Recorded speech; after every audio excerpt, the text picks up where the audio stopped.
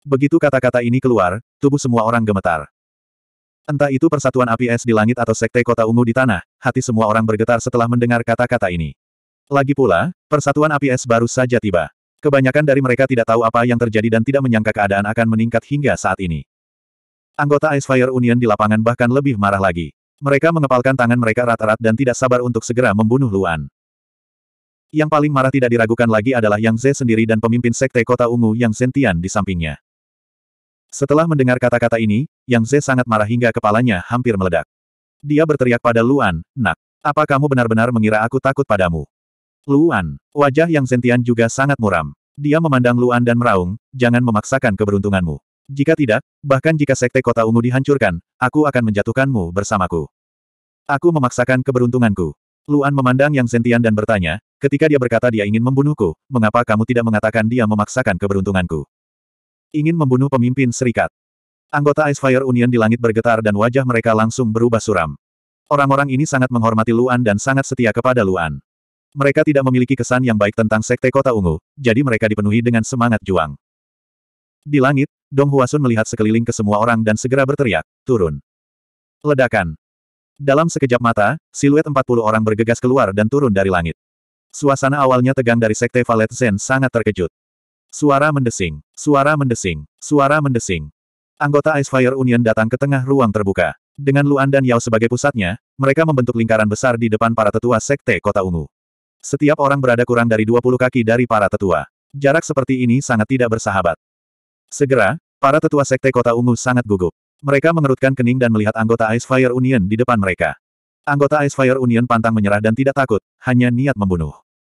Perbedaan antara kedua belah pihak sangat jelas. Sejak kematian guru surgawi tingkat ke-9 200 tahun yang lalu, Sekte Kota Ungu telah direduksi menjadi kekuatan kelas 2. Agar tidak menyatu dengan sekte tersebut, mereka harus bergantung pada sekte tersebut untuk bertahan hidup, apalagi mengambil inisiatif untuk menimbulkan masalah. Selain itu, mereka bersembunyi dan tidak berpartisipasi dalam pertempuran apa pun.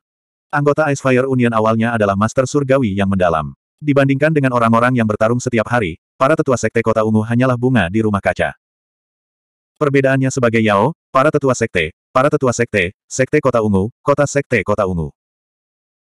Di bawah penghalang dari aliansi api es, para tetua ini tidak berani mengambil langkah maju, bahkan jika Yang Sentian dan Yang Z dikelilingi oleh aliansi api es. Ketika Yang Sentian dan Yang Z melihat pemandangan ini, wajah mereka menjadi semakin suram. Dialah yang mengatakan bahwa dia akan melawan Luan sampai mati meskipun itu berarti kehancuran sekte Valet Zen.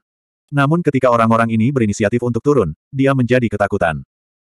Apakah kamu benar-benar ingin melakukannya? Ku bilang, aku bisa melepaskan semua orang, tapi dia harus mematahkan salah satu lengannya. Nada suara Luan masih acuh tak acuh. Jika kamu merasa malu, aku bisa memberimu pilihan kedua. Luan memandang Yang Ze dan berkata dengan dingin, kamu dan aku bertarung, hidup dan mati. Begitu kata-kata ini diucapkan, semua orang terkejut sekali lagi. Yang Zentian juga tercengang. Dia memandang Luan dengan heran. Yang Ze adalah seorang guru surgawi tingkat ke-8. Luan hanyalah seorang guru surgawi tingkat ke-8 awal. Dia sebenarnya ingin bertarung dengan Yang Ze. Bukankah dia mencari kematiannya sendiri? Yang Zentian dan Yang Ze secara alami mengetahui bahwa Luan adalah anggota klan Hachiko. Mereka juga tahu bahwa Luan memiliki Fate Will Deep Eyes terhebat. Namun meski begitu, mereka tidak mengira Luan punya peluang untuk menang. Yang Zentian tidak mengatakan apa pun.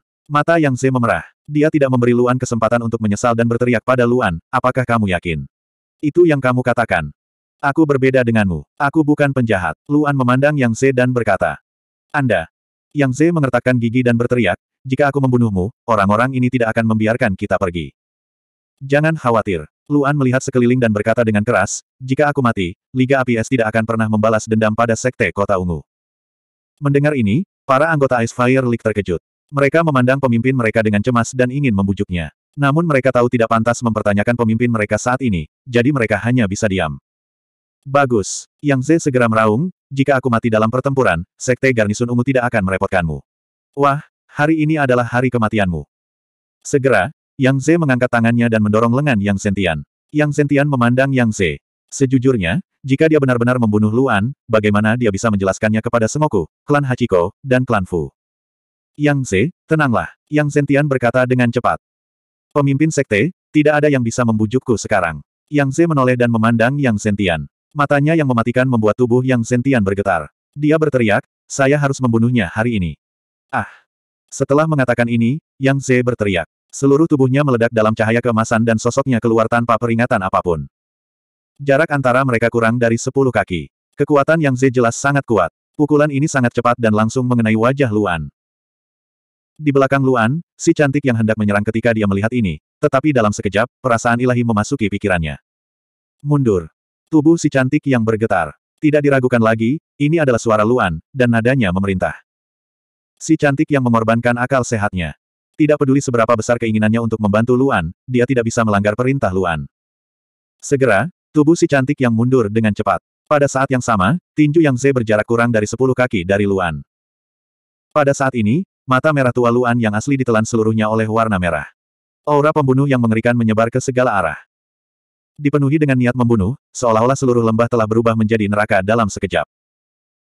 Sejak Luan sepenuhnya mengaktifkan energi kematian dan mengubahnya menjadi kekuatan garis keturunannya, kekuatannya meningkat pesat. Itu hampir setara dengan level pengaktifan alam Dewa Iblis sebelum diaktifkan. Oleh karena itu, dalam alam yang sama, kekuatan Luan jauh lebih tinggi. Terlebih lagi, alam Dewa Iblis saat ini benar-benar berbeda dari sebelumnya. Setelah garis keturunan mengandung energi kematian, efek dari alam Dewa Iblis ditingkatkan. Oleh karena itu, Luan hampir tidak dapat mencapai tahap pertengahan level 8 dengan mengaktifkan alam Dewa Iblis. Yang Z memang berada di tingkat 8 tahap akhir, tapi itu bukanlah alam tertinggi di antara tingkat 8 tahap akhir. Hanya dengan memasuki alam Dewa Iblis, Luan bisa melihat pergerakan pihak lain dengan jelas. Lebih penting lagi, sekarang Luan telah memasuki alam Dewa Iblis, aura pembunuh yang dia tunjukkan sangat menakutkan. Dalam sekejap, seluruh lembah diselimuti oleh energi kematian. Emosi negatif yang tak terhitung jumlahnya menyerbu indera mereka dan membanjiri kesadaran mereka. Mereka segera merasa bahwa mereka tidak sedang berdiri di lembah, melainkan di jurang yang gelap. Mereka tidak menginjak rumput, melainkan genangan darah berlumpur. Darahnya bahkan terus mengalir ke atas, mencoba meresap ke dalam garis keturunan mereka. Semua orang langsung diliputi rasa jijik dan ketakutan yang luar biasa. Pikiran pertama mereka adalah melarikan diri dari tempat ini secepat mungkin. Jika mereka tidak bisa melarikan diri, mereka lebih memilih bunuh diri. Bahkan guru surgawi di sekitar mereka merasakan hal yang sama, apalagi Yang Z, yang sangat dekat dengan Luan. Dalam sekejap, seluruh tubuh Yang Z mati rasa. Kekuatan mengaktifkan garis keturunannya dengan cepat menghilang. Entah itu kekuatan atau kecepatannya, langsung berkurang lebih dari 30%. Dalam sekejap, gerakannya menjadi sangat jelas di mata Luan. Kemudian, api suci Empirean dalam garis keturunan Luan meletus. Dia langsung memasuki tiga tingkat api suci. Aktivasi tiga tingkat api suci berarti kemampuan Luan meledak sekali lagi. Dia hampir mencapai puncak level 8 tingkat menengah. Kemampuannya hampir sama dengan Yang Z, yang telah dilemahkan oleh energi kematian. Luan belum pernah kalah dalam situasi seperti ini sebelumnya, terutama ketika mereka sangat dekat satu sama lain dalam hal kekuatan. Suara mendesing. Luan bersandar dan memiringkan kepalanya. Saat dia menghindari pukulannya, dia mengerahkan kekuatan dari pinggangnya dan memaksa tubuh bagian atas ke depan. Dia terlalu cepat. Yang Z masih sok karena energi kematian. Ketika dia melihat Luan menghindari pukulannya dan hendak menyerangnya, dia segera mengangkat kakinya dan mengarahkannya ke dantian Luan. Namun, sebelum dia bisa mengangkat kakinya, Luan menginjak kakinya. Kemudian, Luan melayangkan pukulan. Bang! Pukulannya tepat mengenai dantian Yang Z. Sosok Yang Z langsung terbang mundur. 2062. Ledakan. Luan meninju ke bawah, sehingga Yang Z tidak terbang terlalu jauh. Namun, dia menghantam tanah dengan keras dan berguling belasan kali sebelum berhenti. Cepat, bahkan lebih cepat. Di bawah langit malam, mata semua orang terbelalak melihat pemandangan ini, apakah mereka dari Sekte Kota Ungu atau Liga APS. Bagaimana ini bisa terjadi? Satu gerakan. Yang Z dikalahkan dalam satu gerakan. Di sampingnya, mata Lady Red menjadi dingin. Tidak ada keraguan bahwa dialah yang paling berkuasa di antara orang-orang ini. Di seluruh Ice Fire League, dia berada di urutan kedua setelah Yao. Dia baru saja melihat semuanya dengan jelas. Tidak hanya itu, dia juga mengetahui kemampuan bertarung Luan yang sebenarnya dengan sangat baik. Yang Z sangat marah sehingga dia memusatkan seluruh kekuatannya pada tinjunya setelah bergegas keluar dalam jarak dekat. Dia tidak punya waktu untuk mengenakan baju besi atau menggunakan roda takdirnya. Inilah harga kemarahan. Dia dengan jelas melihat bahwa Luan telah menggunakan roda takdirnya saat dia meninju. Tinjunya penuh dengan udara dingin. Pukulan berat tadi sudah cukup untuk mendorong semua udara dingin ke dalam tubuh Yang Z. Benar, nyonya merah benar. Seluruh tempat itu begitu sunyi bahkan suara pin yang terjatuh pun bisa terdengar. Yang Zentian melihat Yang Z terbaring di selokan di tanah dan ingin membantunya berdiri. Namun, sesosok tubuh menghalanginya dalam sekejap. Itu adalah Nyonya Merah. Terakhir kali Liga Api Es dan Sekte Kota Ungu bertarung, Nyonya Merah bertarung. Dia menghancurkan semua pertahanan Yang Z dengan satu pukulan dan melukainya dengan parah di saat yang bersamaan. Kekuatannya tidak terbayangkan. Melihat nona merah menghentikannya, Yang Zentian tidak berani bergerak. Angin malam bertiup, membuat semua orang menggigil. Kemerahan di mata Luan sepertinya menghilang bersama angin. Tiga alam api suci semuanya telah lenyap.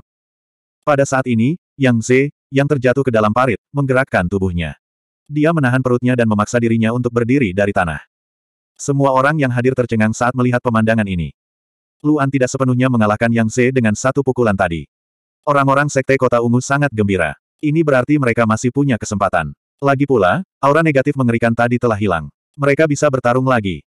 Ketika Yang Ze berdiri dari tanah, semua orang kembali tercengang. Bahkan di tengah musim panas, napas Yang Ze dipenuhi udara dingin. Wajah Yang Ze sangat pucat, dan embun beku terbentuk di alis dan janggutnya. Tubuhnya bahkan menggigil, seolah-olah dia adalah orang biasa yang kedinginan. Melihat pemandangan ini, wajah semua orang dari Sekte Kota Valet tenggelam. Mereka tahu keadaannya buruk.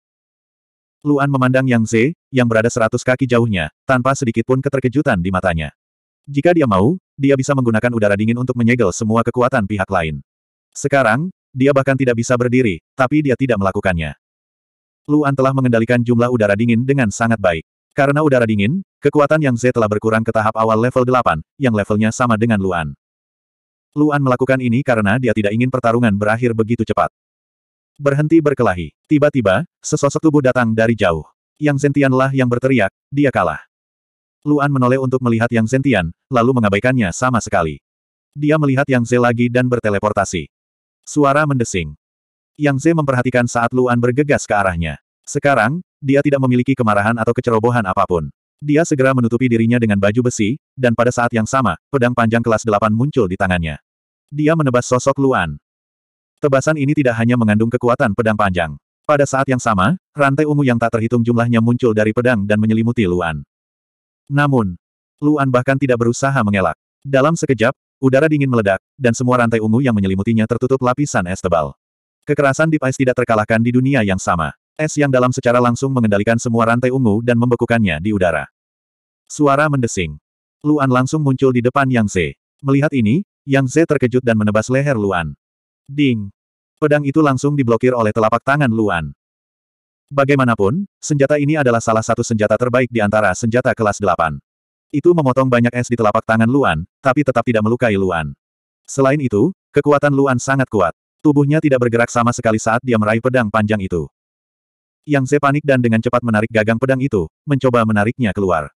Namun, pedang itu, bagaimanapun juga, tertutup oleh deep ice, dan ujung-ujungnya terhalang oleh es.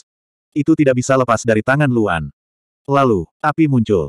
Api merah muncul, tapi tidak ditujukan pada Yang Ze. Sebaliknya, itu menutupi seluruh pedang.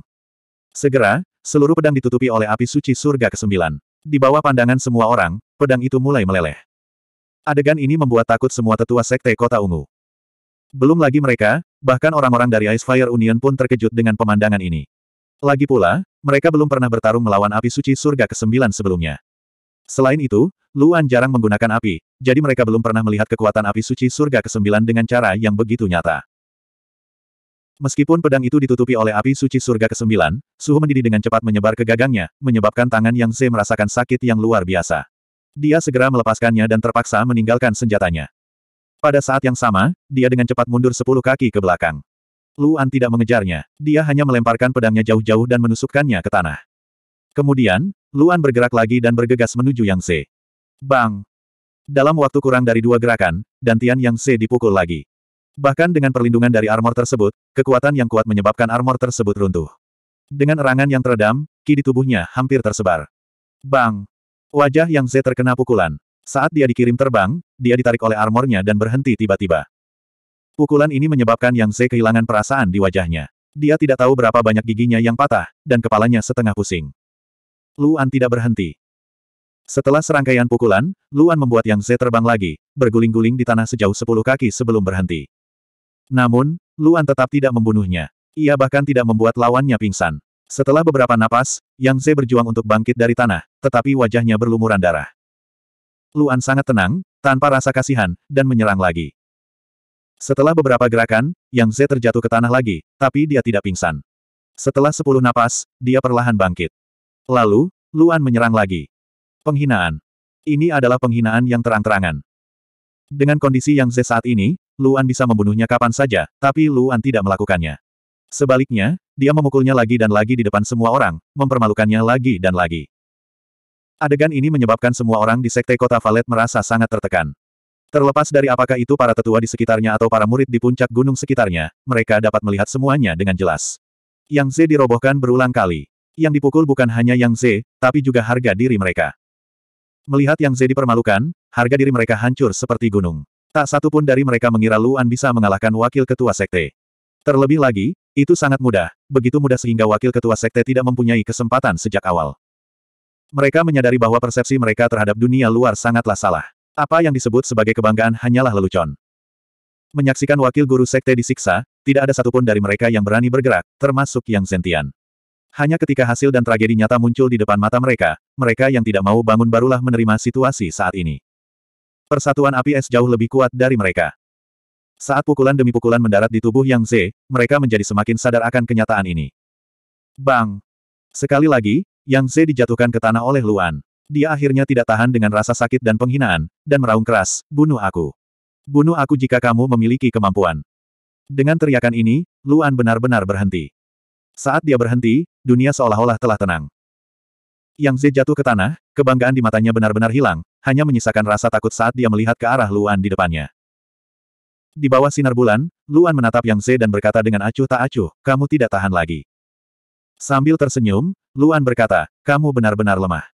Mendengar ini, wajah Yang Ze penuh dengan penghinaan. Pada saat ini, tubuh Luan bergerak lagi, tetapi langsung membuat Yang Ze, yang ingin melawan karena penghinaan, gemetar hebat.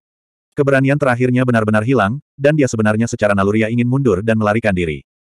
Namun, Luan tidak bergerak sama sekali. Dia hanya berbalik dan melihat Yang Zentian di kejauhan.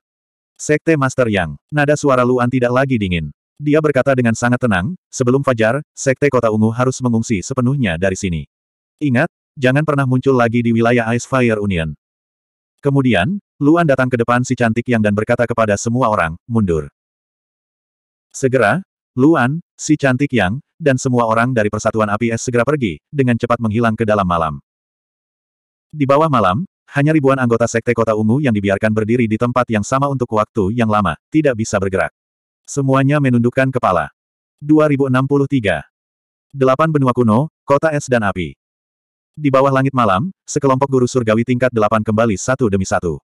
Luan membiarkan orang-orang ini melakukan urusan mereka sendiri. Orang-orang ini juga tahu bahwa masalah hari ini bukanlah masalah kecil. Itu adalah masalah internal klan Lu. Tentu saja, mereka tidak akan banyak bicara. Luan dan ketiga istrinya berada di ruangan yang sama saat ini. Yao dan Liu Yi telah menunggu kabar. Jika ada masalah khusus dengan Sekte Kota Ungu, keduanya bisa bergegas tepat waktu. Itu benar, Alasan mengapa Persatuan Es dan Api bisa tiba tepat waktu malam ini adalah karena Liu Yi telah mengirim guru surgawi tingkat delapan untuk mengikuti dari belakang dan mengamati situasinya. Begitu terjadi konflik, mereka akan segera melapor padanya. Oleh karena itu, dia segera mengirim orang ke Sekte Kota Ungu. Bahkan jika dia tahu bahwa dia tidak bisa terlalu mencampuri urusan Sekte Kota Ungu. Setelah Luan menjelaskan secara singkat apa yang terjadi malam ini, ruangan menjadi sangat sunyi. Bagaimanapun juga, Sekte Kota Ungu adalah klan yang si cantik. Sekarang Sekte Kota Ungu diusir oleh Luan, hati yang si cantik kurang lebih pahit. Namun, jika bukan karena Yang Beauty, Persatuan Es dan Api tidak akan pernah membuang energi untuk membesarkan kelompok orang ini. Terlebih lagi, mereka semua tidak tahu berterima kasih. Bagi Persatuan Es dan Api, kepergian Sekte Kota Ungu merupakan beban dan beban yang sangat besar. Namun, tidak menyukai mereka adalah satu hal. Persatuan Es dan Api tidak bisa melepaskan Sekte Kota Ungu. Setelah hening lama, Liu Yi akhirnya membuka mulutnya dan berkata kepada Luan, kita apa yang harus kita lakukan selanjutnya? Luan menarik napas ringan. Dia berbalik dan berkata kepada Liu Yi, kirim orang untuk mengikuti mereka. Selama kita tahu di mana mereka berada, itu sudah cukup. Jika mereka dalam bahaya, kita harus membuat mereka berinisiatif meminta bantuan kita. Jika tidak, kami tidak akan membantu. Mendengar kata-kata Luan, Liu Yi sedikit mengangguk. Dia juga punya ide yang sama. Tindakan Luan malam ini telah sepenuhnya mengalahkan harga diri orang-orang ini. Namun, ini tidak cukup. Jika Persatuan Es dan Api mengambil inisiatif untuk membantu ketika mereka berada dalam kesulitan, orang-orang ini akan berpikir bahwa Persatuan Es dan Api tidak akan pernah membiarkan mereka sendirian. Dia harus membuat mereka menundukkan kepala dan meminta bantuan dari aliansi Es dan Api setelah dipermalukan. Hanya dengan begitu dia dapat membuat orang-orang ini memahami identitas dan statusnya untuk selamanya, sehingga mereka tidak lagi sombong seperti sebelumnya. Sebelum dia membantu, dia harus membiarkan orang-orang ini lebih menderita dalam kekacauan dunia. Kalaupun ada korban jiwa, itu wajar saja. Setelah mengatakan itu, Luan berjalan ke sisi Yang Meiren dan bertanya dengan lembut, bolehkah? Si cantik yang mengangguk dan berkata, oke. Faktanya, si cantik yang, yang dulunya adalah master sekte dari sekte kota ungu, sangat jelas tentang fitnah terhadap Luan dan pamer dari persatuan APS. Dia sangat lelah dan ingin memutuskan semua hubungan dengan sekte kota ungu. Dia khawatir sekte kota ungu akan menghancurkan hubungannya dengan Luan. Dia hanya ingin tinggal di sisi Luan. Menurutnya, dia tidak ingin persatuan APS memiliki hubungan apa pun dengan Sekte Kota Ungu. Melihat penampilan Yang Meiren, Luan mengulurkan tangan dan memegang tangannya sambil berkata dengan serius, tidak peduli apa, seharusnya tidak ada penghalang di antara kita. Jika Anda memiliki pemikiran atau ingin melakukan sesuatu, beri tahu saya. Aku akan mendengarkanmu. Tubuh si cantik yang sedikit gemetar. Melihat Luan, dia akhirnya mengungkapkan senyuman. Dalam sekejap, suasana di dalam ruangan tidak lagi menindas. Luan juga tersenyum. Duduk di samping si cantik yang, dia berkata pada ketiga wanita itu, tapi... Masalah Sekte Guang Yu, bisakah kita membalas dendam? Saat kata-kata ini keluar, ketiga wanita itu terkejut. Suami ingin mengambil tindakan terhadap Sekte Guang Yu. Yao bertanya. N. Luan mengangguk dan berkata, bagaimanapun, Sekte Guang Yu telah mencoba membunuh Sekte Kota Ungu. Mereka juga membunuh mantan suamimu, menyebabkanmu melarikan diri. Setelah mengatakan itu, Luan memandang si cantik yang dan berkata, kamu juga ingin membalas dendam padanya, kan? Si cantik yang terkejut. Dia menundukkan kepalanya. Dia tidak ingin berbohong kepada Luan jadi dia mengangguk dengan lembut. Benar sekali, si cantik yang memang ingin membalas dendam pada mantan suaminya. Meskipun si cantik yang tidak memiliki perasaan apa pun terhadap mantan suaminya, mantan suaminya selalu baik padanya. Setelah menikah dengannya, dia selalu menjaganya dengan segala cara. Dia tidak menderita sedikit pun keluhan. Seperti kata pepatah, sehari sebagai suami istri berarti pengabdian yang tiada habisnya seumur hidup. Mereka adalah suami istri dan bahkan memiliki seorang putri bersama. Apa pun yang terjadi, dia tidak mungkin tidak mau mencari keadilan untuk mantan suaminya. Inilah satu-satunya simpul dalam hatinya mengenai masa lalu. Namun, dia tahu bahwa pria tidak suka wanitanya memikirkan pria lain. Dia khawatir Luan akan salah paham, jadi dia tidak menyebutkannya. Melihat tatapan diam si cantik yang, Luan tersenyum dan berkata dengan lembut, balas dendam adalah suatu keharusan. Bagaimanapun, dia telah menjagamu atas namaku. Terlebih lagi, ini adalah sesuatu yang aku janjikan padamu pada hari pertama kita bertemu. Tidak apa pun yang terjadi, aku tidak akan melupakannya. Luan benar, itu karena si cantik yang ingin membalas dendam pada mantan suaminya. Namun, dia merasa tidak bisa melakukannya dengan kekuatannya. Itulah mengapa dia mengorbankan kesadaran spiritualnya kepada Luan. Berdasarkan poin ini saja, sudah terlihat betapa si cantik yang ingin membalas dendam pada mantan suaminya. Luan memandang Liu Yi dan berkata, apakah Anda memiliki informasi tentang Sekte Guang Yu? Iya, Liu Yi mengangguk. Ini bukan masalah kecil, jadi dia menjelaskan secara rinci. Dalam sekte, kekuatan sekte Guang Yu dianggap rata-rata. Tidak tinggi dan tidak rendah. Mereka memiliki total tiga kepala sekte dan sekitar 600 guru surgawi tingkat 8. Mereka memiliki kurang dari 40 ribu murid. Setiap sekte mempunyai spesialisasi masing-masing. Alasan mengapa Sekte Guang Yu mampu menarik guru surgawi tingkat delapan adalah karena mereka berspesialisasi dalam penggunaan racun. Liu Yi berkata dengan serius, Sekte Guang Yu memiliki koleksi teknik surgawi terkait racun yang paling kaya di antara 31 sekte. Mereka memiliki delapan atribut dasar dan bahkan beberapa atribut. Oleh karena itu, guru surgawi di Sekte Guang Yu pada dasarnya semuanya adalah guru surgawi yang ahli dalam menggunakan racun. Luan mengerutkan kening saat mendengar ini. Racun, adalah hal yang sangat misterius dan tak terlukiskan. Yang disebut, racun, mengacu pada suatu zat yang dapat menyebabkan kerusakan parah pada tubuh manusia tanpa bantuan kekuatan eksternal apa pun. Ada juga banyak efek yang bisa ditimbulkan oleh racun. Misalnya korosi, penyumbatan, kelumpuhan organ del. Semua itu tergolong racun. Walaupun efeknya sama, toksikologinya sangat berbeda. Misalnya, korosi dapat dicapai melalui kombinasi atribut yang tak terhitung jumlahnya. Luan masih ingat ketika dia berada di Akademi Starfire, dia mendengar pria kabut hitam dengan santai menyebutkan tentang racun. Manusia kabut hitam berkata bahwa di dunia, apakah itu energi surgawi atau roda takdir, selama itu manusia, mereka tidak akan dilahirkan dengan racun. Semuanya diperoleh melalui budidaya. Jika itu adalah guru surgawi yang sering diracuni, atau bahkan menggunakan racun sebagai metode serangan utamanya, atribut energi surgawi di tubuhnya juga akan berubah. Dengan kata lain, energi surgawi dalam tubuhnya perlahan-lahan akan bergerak menuju arah racun. Namun, seseorang harus jelas. Manusia tidak dilahirkan dengan racun. Jika energi surgawi di tubuhnya benar-benar berubah menjadi racun, dia pasti akan mati. Untuk menghindari bahaya tersebut, orang yang menggunakan racun biasanya akan memisahkan atribut racun tersebut dan menyimpannya dalam wadah atau senjata. Dengan cara ini, mereka dapat menghindari penanaman energi surgawi di dalam tubuh mereka dan mencegah racun muncul di tubuh mereka. Dengan kata lain, bagi yang menggunakan racun, kebanyakan harus menggunakan senjata. Meski begitu, harus diakui bahwa keterampilan surgawi dengan racun sangat kuat. Begitu seseorang terkena skill surgawi dengan racun, kerusakan yang diterima akan berlipat ganda. Racunnya bahkan bisa menyebabkan kematian. Lebih penting lagi, racun itu sulit untuk dilawan.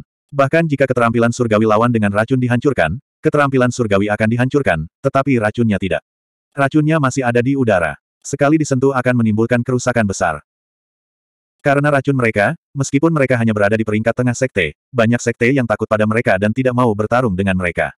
Liu Yi berkata, saya mendengar bahwa mereka juga memiliki susunan dan jebakan yang berhubungan dengan racun. Mereka bahkan memiliki binatang aneh yang membawa racun. Mereka memiliki begitu banyak trik sehingga sulit untuk mengambil tindakan khusus untuk menghadapinya. Mall.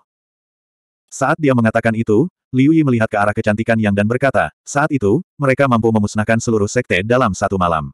Meskipun sekte tersebut adalah yang terlemah di antara 31 sekte, itu sudah cukup untuk membuktikan kekuatannya. Dari sekte Guang Yu, Tubuh si cantik yang sedikit gemetar saat mendengar itu dan mengangguk ringan. Itu benar, Sekte Guang Yu telah membunuh semua orang di sekte tersebut dalam satu malam. Jika bukan karena ayah mantan suaminya yang melindunginya, dia tidak akan bisa melarikan diri.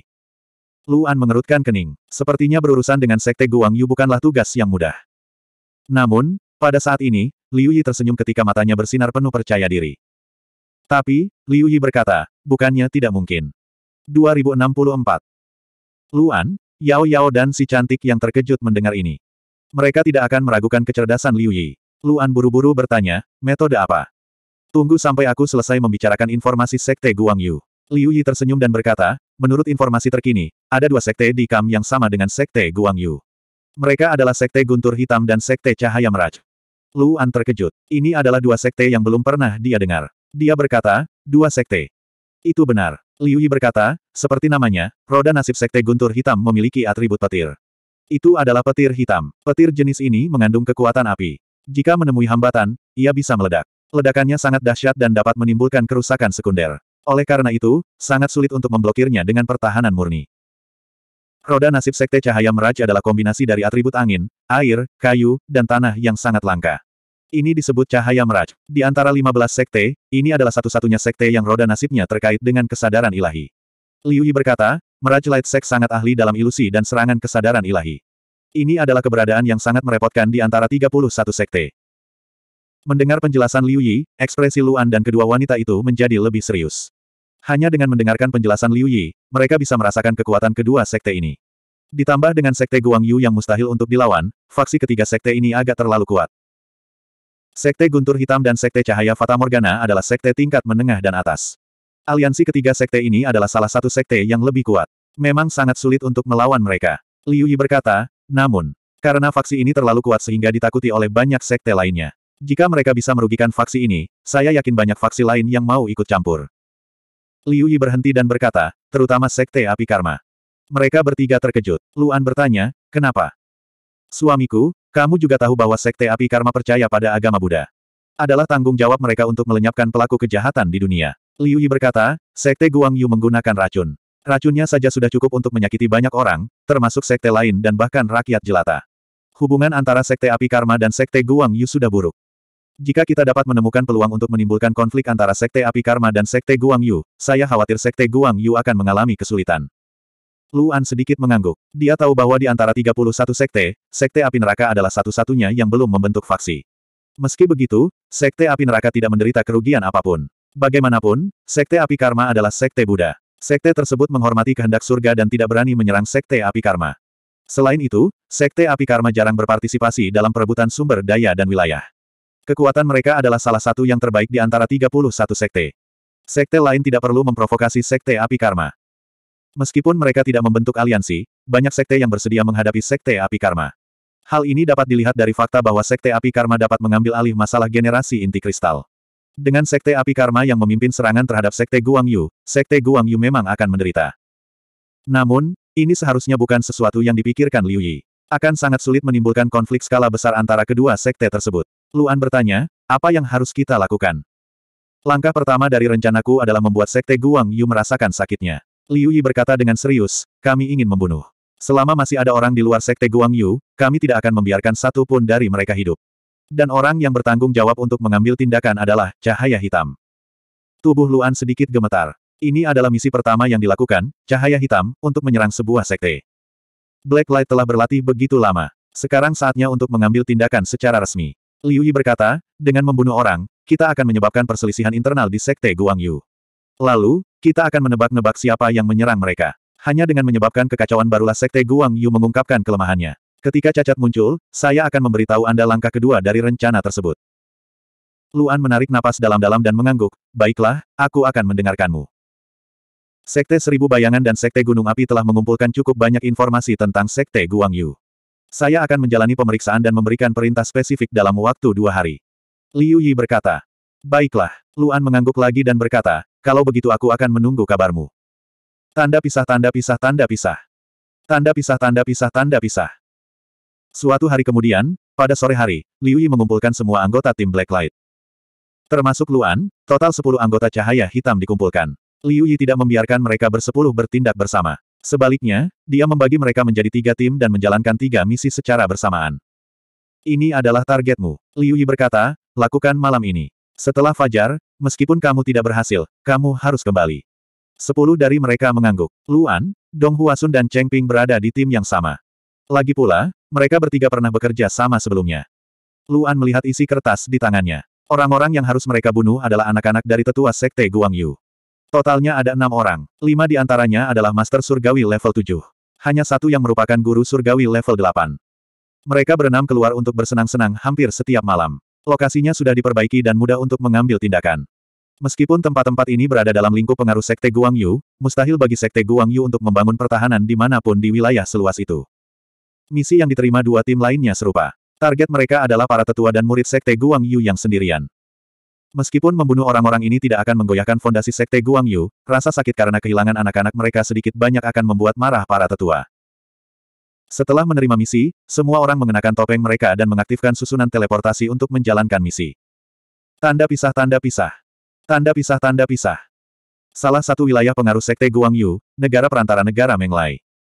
Negara Menglai bukanlah wilayah sumber daya. Dengan kata lain, itu adalah negara yang diambil alih oleh Sekte Guang Yu setelah kekacauan.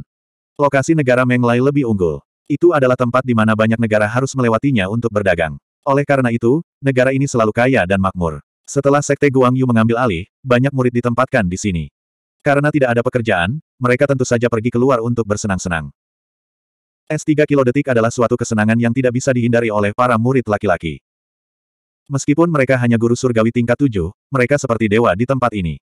Istana Kekaisaran tidak berani ikut campur dan rakyat jelata tidak bisa melawan. Hanya dalam beberapa bulan, banyak sekali wanita yang dinajiskan oleh orang-orang ini. Rumah bordil adalah tempat berkumpulnya mereka. Persatuan Api Es tidak memiliki susunan teleportasi yang mengarah langsung ke ibu kota negara Menglai. Untungnya, seseorang memiliki susunan teleportasi yang mengarah ke kota dekat ibu kota. Setelah Luan dan dua orang lainnya tiba di kota, mereka masih harus menuju ibu kota. Akhirnya, sebelum matahari terbenam, mereka bertiga sampai di luar ibu kota. Malam tiba. Ada semakin banyak kegelapan saat bulan terbit lebih tinggi. Di bawah langit malam, ibu kota tidak seramai sebelumnya. Meski masih ada orang di jalanan, namun kebanyakan dari mereka terburu-buru dan tidak berani berlama-lama. Setelah Sekte Guang Yu mengambil alih, ibu kota selalu berada dalam keadaan panik. Populasinya telah menurun lebih dari 30 persen. Ini berada di bawah kendali Sekte Guang Yu. Segera, enam sosok muncul di rumah bordil. Saat mereka muncul, nyonya rumah bordil segera mendatangi mereka. Bagi nyonya, bukanlah hal yang buruk bagi mereka berenam untuk datang ke sini setiap hari. Sebaliknya, itu adalah hal yang bagus. Dengan cara ini, dia bisa lebih dekat dengan Sekte Guang Yu. Sekarang, statusnya di ibu kota telah meningkat pesat. Tentu saja, untuk mendapatkan lebih banyak perhatian dari orang-orang ini, dia akan memikat banyak wanita untuk mereka nikmati setiap hari. Pada saat yang sama, Luan dan dua orang lainnya telah memasuki rumah bordil tanpa suara dan duduk di sebuah ruangan kosong. Erangan dan rintihan terdengar dari sekeliling. Luan baik-baik saja, tapi wajah Dong Huasun dan Cheng Ping jelas memerah dan tidak berani saling memandang. Luan memandang mereka berdua dan menganggapnya lucu. Namun, dia tidak mengatakan apa pun. Bagaimanapun, ini adalah ibu kota kerajaan, dan ada beberapa guru surgawi tingkat delapan yang ditempatkan di sini. Kesulitan dari misi ini bukanlah membunuh enam orang, tetapi membunuh mereka tanpa menimbulkan suara apa pun, tanpa meninggalkan jejak apa pun. Membunuh lima master surgawi level tujuh itu mudah. Hanya guru surgawi tingkat delapan yang agak sulit. Bagaimanapun juga, dia adalah seorang guru surgawi tingkat delapan dan mungkin mempunyai beberapa trik di balik bajunya. Dalam persepsi ketiganya, mereka berenam dengan cepat berpisah dan masing-masing membawa wanitanya ke ruangan yang berbeda. Semua wanita ini adalah orang biasa dan mudah untuk mengontrol mereka. Cheng Ping, aku akan menyerahkan lima guru surgawi tingkat tujuh ini kepadamu. Luan menoleh ke Dong Huasun dan berkata, kamu dan aku akan menangani guru surgawi tingkat delapan ini bersama-sama.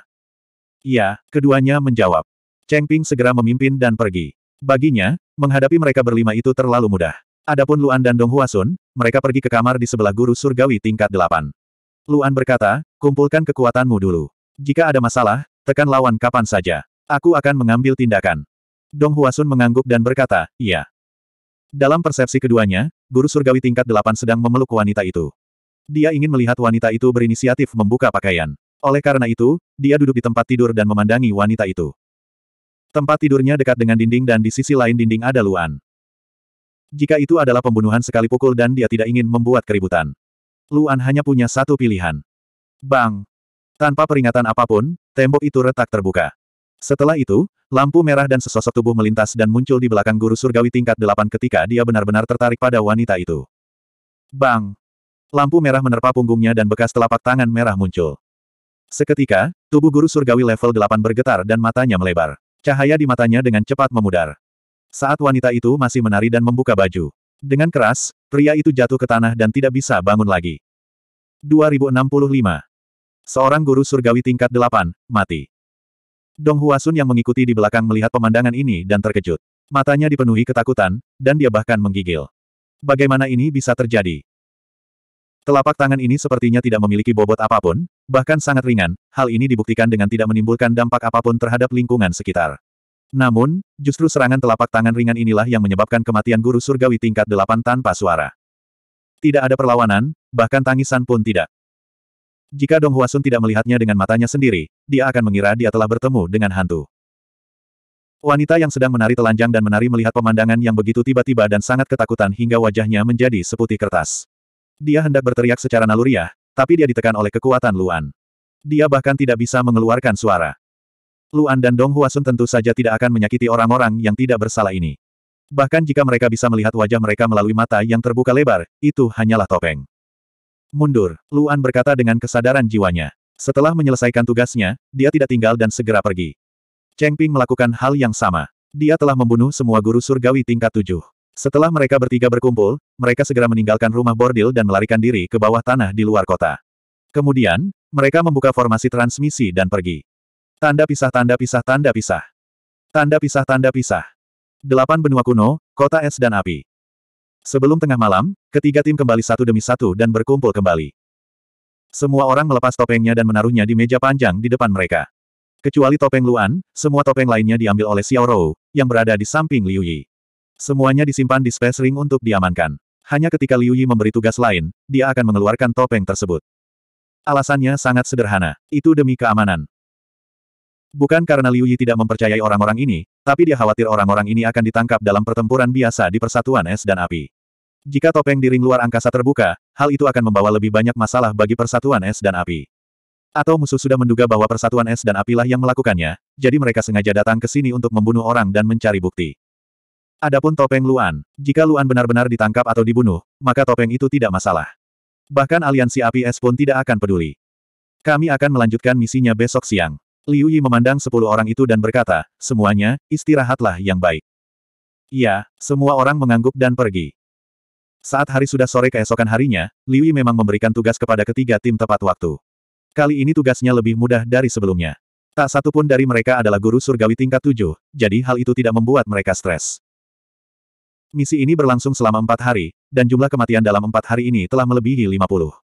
Tidak peduli betapa tidak sensitifnya Sekte Guang Yu, kematian 50 orang dalam waktu sesingkat itu pasti akan menarik perhatian para petinggi. Tanda pisah tanda pisah tanda pisah. Tanda pisah tanda pisah tanda pisah.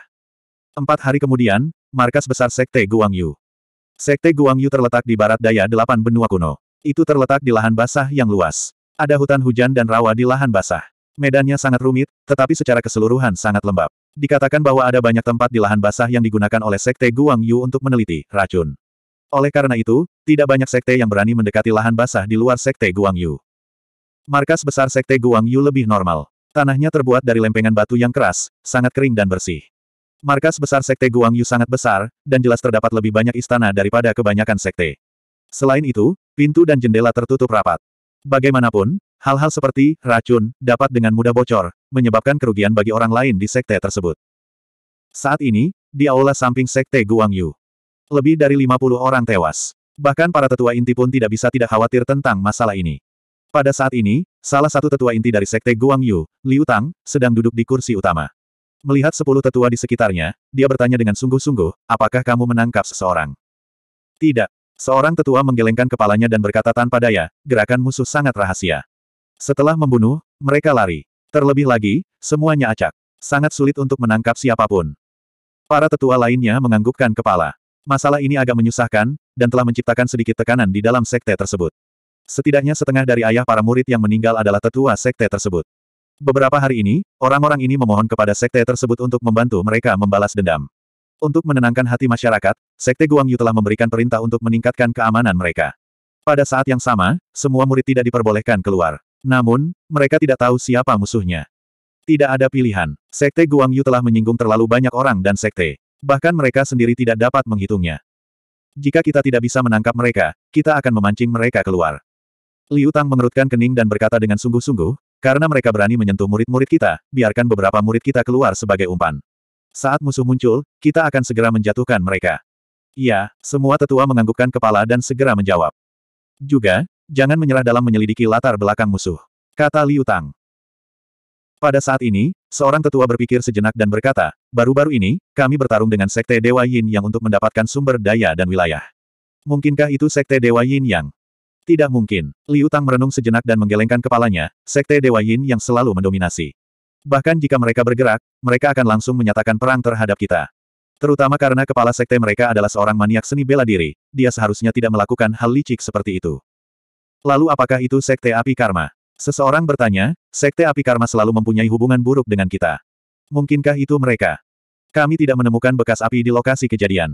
Sesepuh lainnya menggelengkan kepalanya dan berkata, tentu saja, kami juga tidak menemukan jejak lain. Sulit untuk mengatakannya. Semua orang menjadi sangat diam. Lagi pula, musuh dalam kegelapan seperti ini adalah yang paling sulit dihadapi dan juga paling merepotkan. Dulu, merekalah yang melakukan hal semacam ini. Mereka tidak menyangka akan ditikam dari belakang kali ini. Pertama, lakukan apa yang saya katakan dan lihat apakah kita bisa memancing musuh keluar. Liu Tang berkata, jika musuh tidak mengambil umpannya, kita akan mencari cara lain. Tanda pisah tanda pisah tanda pisah. Tanda pisah tanda pisah tanda pisah.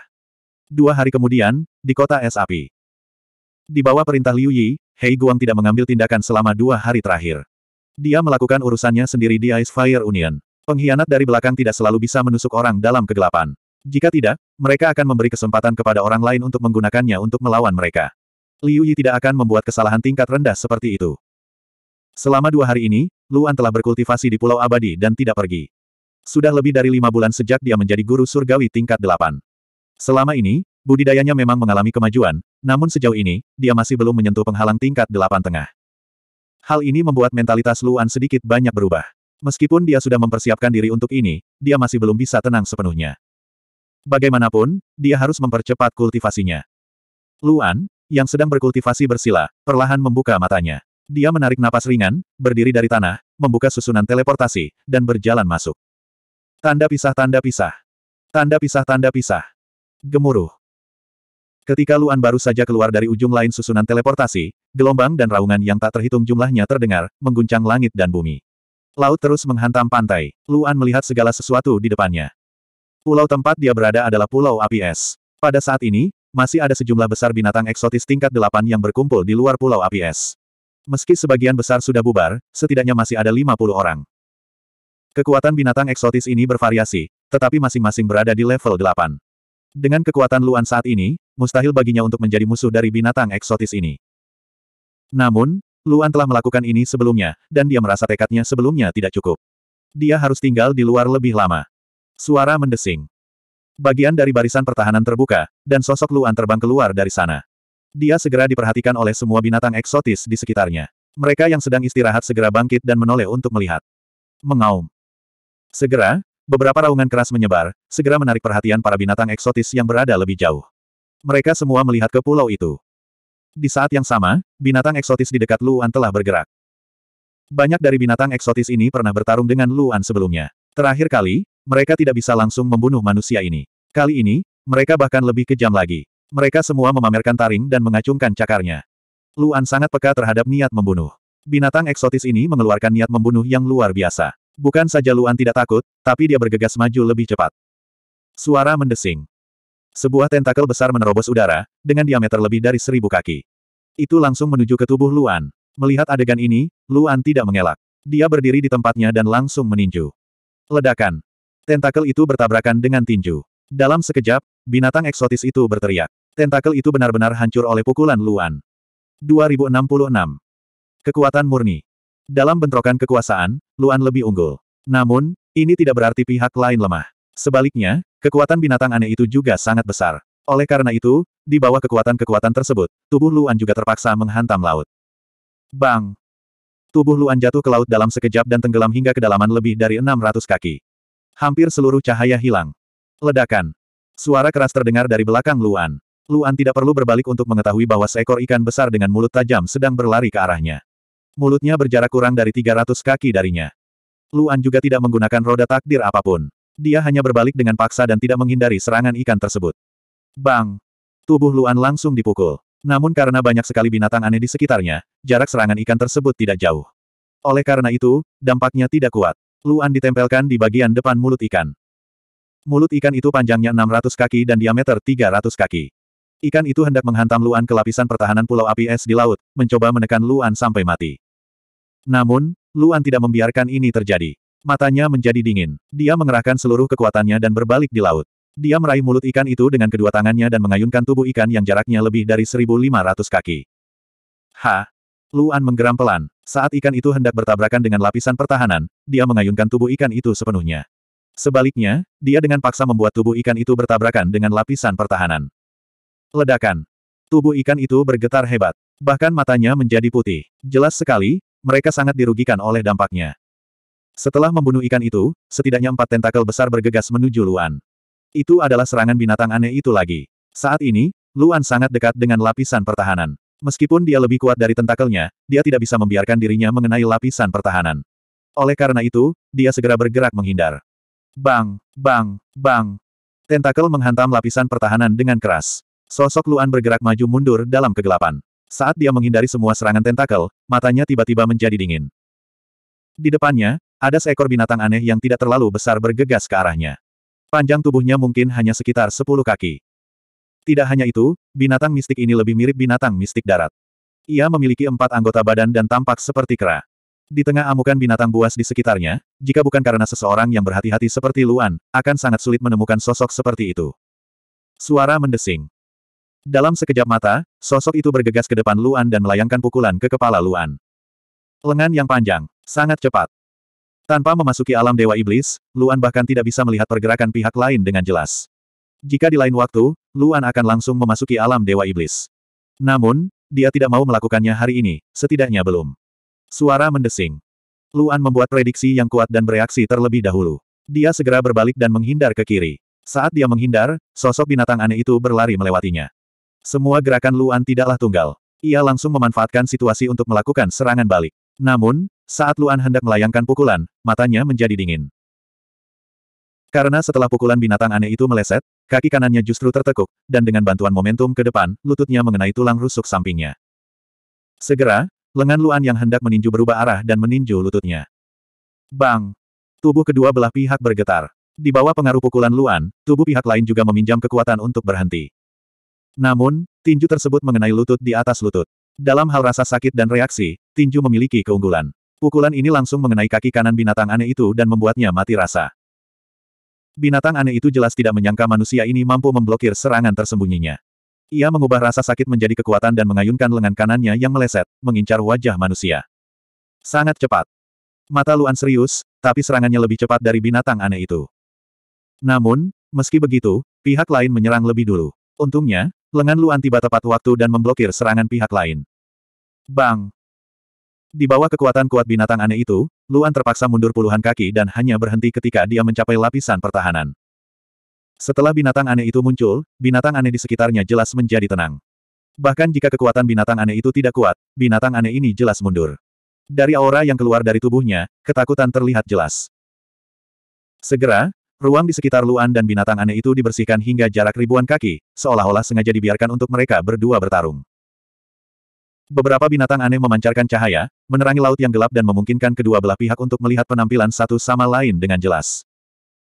Ketika Luan melihat penampilan pihak lain, dia jelas terkejut dan bahkan tubuhnya bergetar. Ini, sangat mirip dengan kera. Namun, dibandingkan dengan kera, binatang aneh ini memiliki perbedaan yang jelas, dan itu adalah kepalanya. Binatang aneh ini memiliki empat mata, dan tersebar merata di sekitar bagian atas kepalanya. Dengan kata lain, binatang aneh ini tidak memiliki titik buta. Juga, binatang aneh ini tidak memiliki mulut. Mungkinkah ia tidak perlu makan? Binatang aneh macam apa ini? Ini adalah pertama kalinya Luan melihatnya. Suara mendesing. Kedua mata di depan binatang aneh itu sedang menatap Luan. Jelas sekali, dia juga sangat bingung dengan Luan, tapi matanya lebih galak. Tidak ada keraguan bahwa sebagian besar binatang aneh di laut penuh dengan permusuhan yang kuat ketika menghadapi manusia, tidak terkecuali binatang aneh ini. Bang! Binatang aneh itu bergegas keluar lagi dan langsung menuju Luan. Sosok binatang aneh itu sangat kabur di pandangan Luan, tapi Luan masih belum membuka alam Dewa Iblis. Ledakan. Tinju binatang aneh itu mengenai lapisan pertahanan, dan Luan dengan cepat menghindar ke samping. Pada saat yang sama, tinju kanannya ditinju, dan saat binatang aneh itu menjadi kaku, dia meninju ke arah kepala binatang aneh itu. Dari samping, binatang aneh itu masih memiliki dua mata yang menatap ke arah Luan. Bang! Binatang aneh itu mengangkat lengan kirinya. Karena tubuhnya yang besar, dengan tinggi sepuluh kaki, mengangkat lengannya saja sudah setara dengan melancarkan serangan. Ia memiliki kemampuan menyerang dan bertahan. Kemudian, tangan kanan Luan tidak ditarik ke belakang. Ia masih meninju dengan kuat ke arah kepala binatang aneh itu, seolah-olah dia akan menyerangnya dengan paksa. Yang tidak disangka Luan adalah binatang aneh itu akan menjadi orang pertama yang gemetar ketakutan. Seolah merasakan kekuatan pukulan Luan yang menakutkan, binatang aneh itu mengangkat tangannya dan menggerakkan tubuhnya ke samping pada saat yang bersamaan. Tidak peduli apa, ia tidak ingin membiarkan manusia ini memukul kepalanya. Suara mendesing. Pukulan Luan meleset, tapi lengan terangkat binatang aneh itu juga tertahan oleh tangan kirinya. Kekuatan tangan kiri Luan meletus, dan kelima jarinya langsung menggenggam otot lengan binatang aneh itu. Di saat yang sama, tangan kanannya ditarik dan diletakkan di lengan binatang aneh itu. Di saat yang sama, kaki kirinya menendang ke arah rusuk samping binatang aneh itu, dan kaki kanannya langsung mengarah ke belakang kepala binatang aneh itu. Tangannya terpaku, dan binatang aneh itu tidak bisa mengelak. Binatang aneh itu memiliki lengan yang panjang dan kaki yang pendek, yang berarti ia tidak dapat menggunakan metode mengangkat kakinya untuk menghentikan Luan. Meskipun tangan kanan binatang aneh itu dengan cepat mundur, ia tidak dapat mempertahankan dua tempat pada saat yang bersamaan. Tampaknya binatang aneh itu harus dipukul setidaknya di satu tempat, dan di mana pun ia menyerang, dampaknya akan sangat besar. Namun, pada saat ini, pemandangan aneh muncul. Saat kaki Luan hendak mengenai sasaran, tubuh binatang aneh itu tiba-tiba mengendur, seolah-olah semua kekuatannya telah hilang. Hati Luan segera menegang, karena dalam pandangannya, lengan kiri binatang aneh itu dipisahkan secara paksa dari tubuhnya. Kemudian, ledakan. Sebuah ledakan besar terdengar, dan air laut di sekitarnya langsung didorong paksa hingga membuka ruang yang sangat besar, dan yang memenuhi ruang itu sebenarnya adalah kabut air. Karena ledakan ini, semua air di sekitar ribuan kaki dikeluarkan, hanya menyisakan kabut air yang sepenuhnya menghalangi garis pandang, dan tidak ada jarak pandang sama sekali. Gelap sekali sehingga orang bahkan tidak bisa melihat kelima jari mereka. Namun, air laut dengan cepat melonjak kembali, dan kabut air yang sangat besar ini tertelan. Setelah kabut air menghilang, di bawah cahaya yang dipancarkan binatang aneh itu, semuanya bisa terlihat dengan jelas. Binatang aneh itu sudah berdiri seratus kaki dari lapisan pertahanan, dan pada saat ini, tangan kirinya masih di sana, seolah-olah tidak pernah menghilang. Di sisi lain, tubuh Luan ditekan pada barisan pertahanan. Karena ledakan tersebut, pakaiannya jelas sedikit berantakan, tetapi ini adalah pakaian yang diberikan Fuyu kepadanya, dan semuanya pulih sepenuhnya dalam waktu singkat. Ledakan tadi terlalu mendadak, dan itu benar-benar di luar dugaan Luan. Tapi untungnya, dia menahan diri, jadi saat ledakan tiba-tiba muncul, dia dengan paksa melepaskan kekuatan ruang di sekujur tubuhnya. Dia secara paksa menghubungkan ruang di depan dan di belakang tubuhnya, yang berarti dampak ledakan langsung diarahkan ke belakangnya. Meskipun dia juga terkena dampaknya, dia tidak mengalami luka serius. Namun, Luan mengangkat kepalanya, mengerutkan kening saat dia melihat binatang aneh yang berjarak seratus kaki di depannya. Binatang aneh ini, sangat kuat. 2067 Kedua belah pihak dipisahkan sejauh seribu kaki. Luan menempel di dekat lapisan pertahanan dan menatap lawannya dengan mata yang dalam. Binatang aneh di kejauhan juga menatap Luan, memusatkan seluruh inderanya pada Luan. Merayu. Tiba-tiba, binatang aneh itu mengeluarkan suara yang menyebar jauh dan luas di lautan. Binatang aneh di sekitar mereka gemetar saat mendengarnya. Mereka mundur lagi dari jarak seribu kaki. Kali ini, jarak antara mereka adalah 3.000 kaki penuh. Melihat semua binatang aneh itu mundur, mata Luan menjadi dingin. Kekuatan binatang aneh itu jelas tidak sekuat binatang aneh lain di sekitarnya, tapi dia bisa memerintahkan mereka seperti itu. Itu cukup untuk menunjukkan statusnya. Mungkin, binatang aneh ini berasal dari ras yang sangat bergengsi. Pada saat ini, tubuh Luan tiba-tiba bergetar, dan matanya menjadi lebih serius. Tubuh binatang aneh itu mulai berubah bentuk. Tubuhnya tidak berubah, tapi bentuknya berubah total. Tubuhnya yang semula seperti kera, mulai berputar dan menyatu, dan akhirnya menjadi manusia. Lebih-lebih lagi, tinggi dan bentuk tubuh manusia ini persis sama dengan Luan. Tingginya sama dengan Luan, bentuk tubuh sama dengan Luan, bahkan matanya menjadi dua. Adegan ini membuat Luan terkesiap. Mungkinkah matanya juga berubah? Namun, selain tinggi dan bentuk tubuhnya, binatang aneh itu tidak meniru fitur wajahnya, dan tubuhnya masih tertutup kilau air. Kemudian, binatang aneh itu berlari keluar lagi, dan semua kekuatan di tubuhnya meledak, langsung menuju Luan. Melihat ini, Luan mengepalkan tangannya. Mungkinkah binatang aneh itu mengira bisa menghindari keuntungannya dengan bertarung dengan bentuk tubuh yang sama? Tapi bagaimanapun juga, kemunculan binatang aneh ini sangat menarik perhatian Luan. Pada saat yang sama, dia memutuskan untuk mengendalikan kekuatannya agar dia tidak menang dalam hal kekuatan. Ledakan. Binatang aneh itu meninju lapisan pertahanan, tapi Luan sudah menghindar ke samping. Binatang aneh itu segera mengejar, menutup jarak dan bergegas ke depan Luan.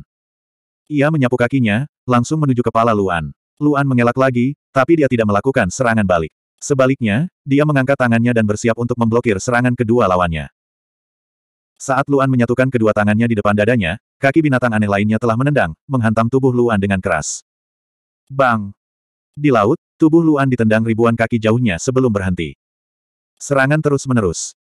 Tidak mudah bertemu lawan yang benar-benar tahu cara menyerang terus-menerus. Namun, ingin mengandalkan dua serangan berturut-turut untuk mengalahkan Luan tidak diragukan lagi adalah mimpi yang bodoh. Suara mendesing.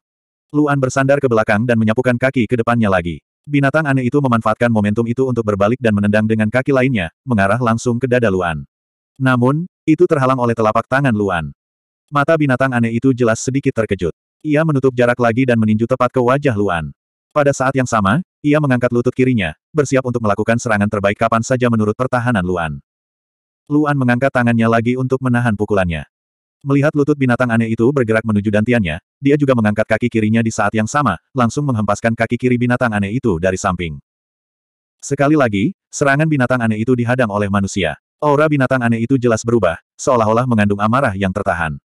Binatang aneh itu menutup jarak lagi, tangannya meraih bahu manusia, seolah ingin memegang tubuh manusia dan terlibat dalam pertarungan jarak dekat. Pada saat yang sama, Luan sepertinya memiliki firasat tentang apa yang akan dilakukan binatang aneh itu.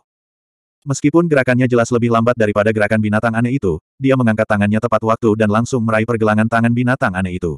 Pada saat yang sama, tubuhnya mengerahkan kekuatan di laut dan melakukan jungkir balik dengan keras ke belakang. Suara mendesing. Tubuh binatang aneh itu langsung dibuang jauh oleh Luan, dan ia nyaris tidak berhasil berhenti ribuan kaki jauhnya. Setelah pertukaran pukulan yang singkat dan cepat, kedua belah pihak sekali lagi membuka jarak di antara mereka. Mata binatang aneh itu jelas terlihat sangat tegang. Tinjunya terkepal erat, dan amarahnya hampir meledak. Luan memandangi binatang aneh itu.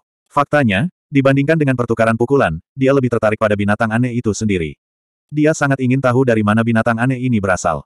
Setelah menebak bahwa itu kemungkinan besar berasal dari ras yang kuat, Luan tidak ingin menyakiti binatang aneh ini dan membuat musuh untuk dirinya sendiri. Namun, binatang aneh ini jelas tidak berpikir demikian. Uh! Dengan raungan marah, sosok binatang aneh itu keluar lagi. Harus dikatakan bahwa kecepatan binatang aneh di dalam air ini terlalu cepat. Itu jauh lebih cepat daripada binatang aneh lainnya dengan tingkat budidaya yang sama. Jarak seribu kaki ditempuh dalam sekejap mata. Dengan bantuan momentumnya yang kuat, pukulan ini hampir mencapai puncak kekuatan binatang aneh itu. Kecepatannya sangat cepat, dan langsung menuju ke dada Luan. Tanggapan Luan juga sangat sederhana, yaitu berlari. Ketika binatang aneh itu menyerbu, tubuhnya segera tenggelam sejauh seratus kaki, memaksa binatang aneh itu mentransfer kekuatannya untuk mengubah arah pukulannya, yang melemahkan tinju binatang aneh itu. Saat binatang aneh itu hendak bergegas ke depannya, tubuhnya yang tenggelam tiba-tiba berhenti, dan binatang aneh itu tidak dapat bereaksi tepat waktu. Pukulannya, yang semula ditujukan pada posisi tenggelamnya Luan, dibelokkan seluruhnya, dan bukannya mengenai kepala Luan, ia hanya bisa mengenai kaki Luan. Tentu saja, Luan bahkan tidak akan membiarkan binatang aneh itu memukul kakinya. Sebaliknya, dia mengangkat kakinya dan menendang tepat ke arah wajah binatang aneh itu. Namun, kecepatan tendangan ini tidak cepat, dan memberikan cukup waktu bagi binatang aneh itu untuk bereaksi. Binatang aneh itu buru-buru menghindar ke samping, tapi dia benar-benar ketakutan, dan seluruh tubuhnya gemetar. Hal ini membuat binatang aneh itu semakin marah, dan ia segera bergegas, ingin mengalahkan manusia ini sepenuhnya. Luan tidak berhenti di tempatnya, tapi dengan cepat mundur ke belakangnya. Kecepatan binatang aneh itu secara alami jauh lebih cepat daripada kecepatannya. Setelah mengejar, ia mengulurkan tangan untuk meraih kaki Luan, mencoba memaksa Luan untuk berhenti. Kali ini, Luan melakukan apa yang diinginkannya, tapi dia tiba-tiba berhenti. Sosoknya yang mundur hampir seketika berhenti, dan binatang aneh itu tertangkap basah. Penghentian mendadak seperti itu menyebabkan tangan binatang aneh itu segera bergeser, menyebabkannya tidak hanya gagal meraih kaki Luan, tapi juga kehilangan pertahanannya, membiarkan kaki binatang aneh itu menerobos dan menyerang bahunya. Bang! Tubuh binatang aneh itu bergetar hebat, dan bahunya langsung ditendang oleh kaki Luan. Binatang aneh itu segera berteriak kesakitan, tapi untungnya, kakinya tidak menendang kepalanya, atau konsekuensinya tidak terbayangkan.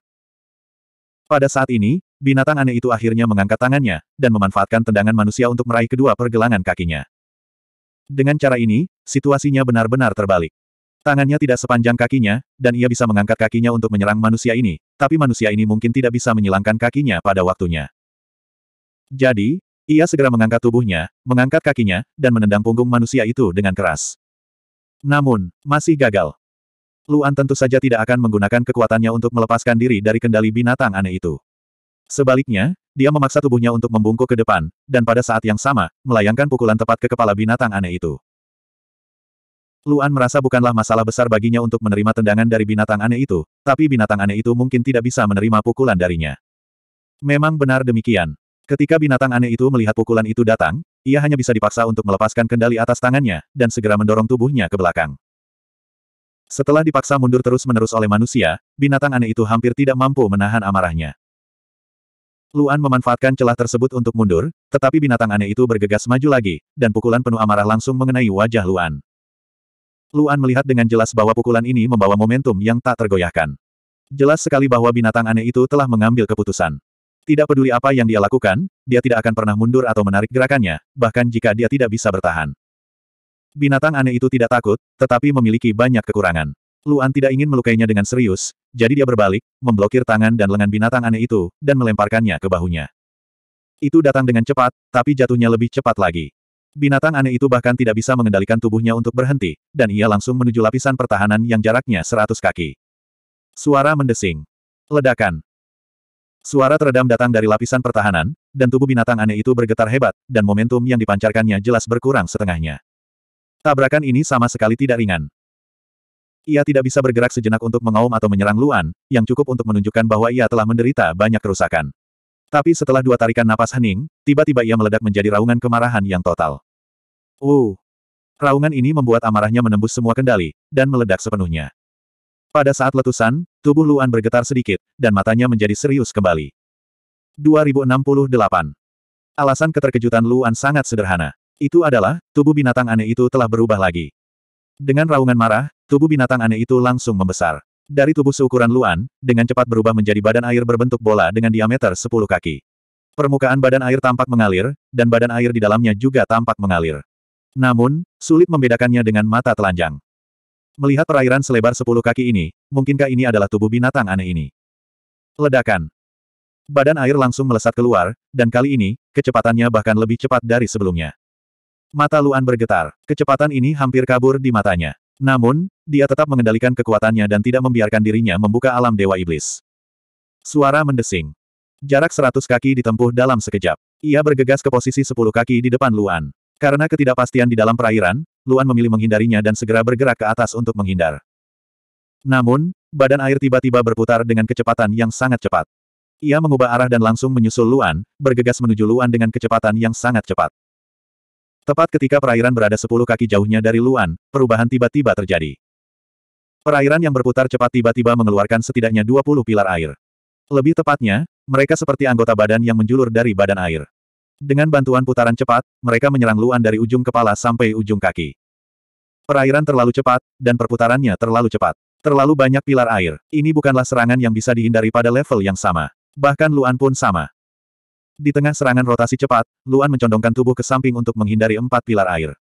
Namun, dia tidak bisa mengelak dari serangan kelima bagaimanapun caranya. Tak berdaya, Luan langsung mengangkat lengan kanannya dan memblokir pilar air tersebut. Bang! Luan langsung terkena. Suara mendesing. Tubuh Luan terbang ke kanan. Lengan kanannya mati rasa, dan ada tanda merah besar di lengan atasnya. Kekuatan pilar air ini lebih tinggi dari yang dia bayangkan. Yang membuat Luan semakin khawatir adalah pilar air yang membuatnya terbang tidak meledak. Meski sedikit bengkok, ia dengan cepat diserap oleh badan air dan muncul kembali. Luan dikirim terbang, tetapi badan air tidak berniat melepaskannya. Ia segera mengejarnya. Menghadapi badan air ini, serangan fisik hampir tidak efektif. Jika Luan bersikeras untuk tidak menggunakan roda takdir dan kekuatannya, dia mungkin akan kalah. Setelah mempertimbangkan pro dan kontra, Luan melihat ke perairan yang mengalir ke arahnya dari jauh. Cahaya bersinar di tangannya, dan dalam sekejap, dua belati ungu muncul di tangannya. Sambil memegang belati di tangannya, Luan langsung menjadi sangat tenang. Alih-alih mundur, dia langsung menyerang badan air. Suara mendesing. Kolom air langsung menuju ke arahnya. Dia bahkan tidak berusaha menghindar. Sebaliknya, dia menebas kolom air dengan pedangnya. Bang! Kolom air dipotong menjadi dua. Ketajaman dan kekerasan belati bukanlah sesuatu yang bisa ditahan oleh kolom air. Saat kolom air dipotong, badan air jelas bergetar. Namun, ia tidak mau menyerah dalam menyerang. Itu berputar sangat cepat, dan ada banyak pilar air. Manusia hanya dapat memblokir beberapa dari mereka, dan pada akhirnya, dia akan tetap terkena. Namun, binatang aneh itu sepenuhnya salah. Setelah badan air berputar dua kali, 20 kolom air dipotong menjadi dua. Kecepatannya begitu cepat sehingga badan air bahkan tidak sempat berhenti. Segera, badan air menjadi badan air berbentuk bola. Binatang aneh itu kembali kesakitan. Luan langsung berlari ke depan dan menusuk badan air dengan belati di tangan kanannya. Melihat hal tersebut, badan air terkejut. Ia segera menahan rasa sakit yang parah dan mundur. Pada saat yang sama, ia memisahkan banyak kolom air dan menusuk Luan untuk menghentikan Luan bergerak maju. Bang! Bang! Luan menebang banyak kolom air lagi. Namun, binatang aneh itu berhasil memblokir serangan Luan dan dengan cepat menjauhkan diri darinya. Luan tidak mengejarnya. Sebaliknya, dia memegang belati dengan kedua tangannya dan berhenti. Binatang aneh itu menjauhkan diri lebih dari 600 kaki sebelum berhenti. Seluruh badan air bergetar. Ia belum pernah melihat manusia seperti itu yang bisa mematahkan serangannya dengan cara ini dan bahkan melakukan serangan balik. Ia pernah bertarung dengan manusia sebelumnya, tapi ia tidak pernah kalah dalam pertarungan jarak dekat. Merayu. Tiba-tiba, badan air kembali mengeluarkan jeritan nyaring. Gemuruh. Tiba-tiba, laut sekitar ribuan kaki berguncang. Mata Luan menjadi dingin. Tanpa ragu, dia segera bergegas menuju lapisan pertahanan. Tanpa ragu, badan air akhirnya menggunakan kekuatan aslinya. Luan tidak cukup bodoh untuk berpikir bahwa pertarungan jarak dekat barusan adalah kekuatan penuh dari perairan. Kalau tidak, bagaimana mungkin begitu banyak binatang aneh yang begitu takut padanya? Fakta bahwa laut berguncang tanpa peringatan sudah di luar pengetahuan dan penilaian Luan. Luan akan berusaha sebaik mungkin untuk menghindari kontak langsung dengan kekuatan yang tidak dapat diprediksi. Terlebih lagi, ada begitu banyak binatang aneh di sekitarnya. Dia tidak bisa gegabah. Segera, Luan memilih untuk memasuki alam Dewa Iblis. Dengan kekuatannya saat ini, setelah menggunakan alam Dewa Iblis, dia sebanding dengan level 7 tingkat menengah yang lebih lemah. Sosoknya bergerak maju dengan cepat di laut. Faktanya, Luan telah menjaga jarak dari lapisan pertahanan. Dia tidak akan berada terlalu jauh. Sekarang, jaraknya kurang dari 600 kaki. Namun, bahkan jarak pendek 600 kaki pun merupakan masalah besar.